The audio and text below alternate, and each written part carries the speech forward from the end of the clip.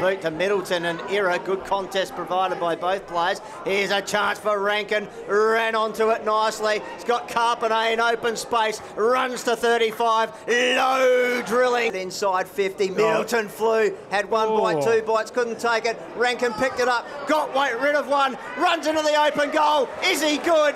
Is he ever? Fair Trengove. Oh, good attack on the football too by Carpenter. Spits out the back here this time, so he swings inboard as he does, and he gets onto that left foot now. Oh, dangerous danger. kick because it's going to be picked off by Rankine. Yep. He wanted to probably put the afterburners on, but that's a lovely kick. And past it, Ira, who just did nicely. Ooh. Atley with that real little Russell Ebert style hand pass out the back. Rankine paddling in front of him. Ira's on his hammer attack. Good co- Uh, just about five minutes ago. and that player spotlight brought to us by Oh, here Adelaide there- there's one here. Have a look at this. Rankine all out by himself in open space. He only has to beat Pittard, who's on his hammer and tack. Takes a bounce, runs to 20, goals.